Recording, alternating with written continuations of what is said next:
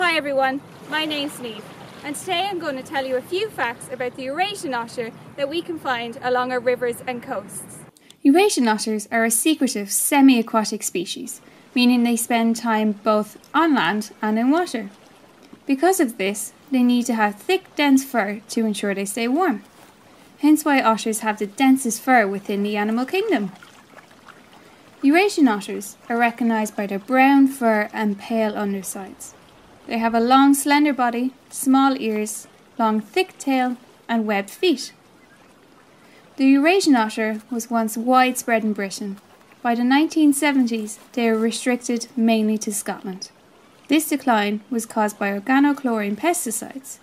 However, since they are withdrawn from use, otters have been spreading back into many areas again.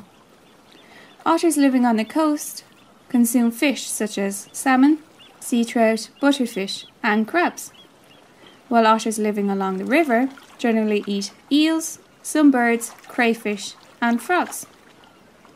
It can be very tricky to spot otters. However, dawn and dusk are good times to watch for them.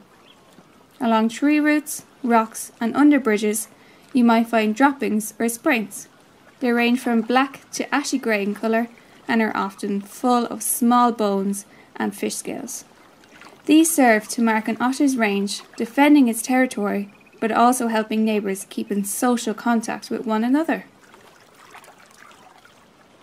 Thanks for watching guys and keep your eyes peeled for our elusive and beautiful otters.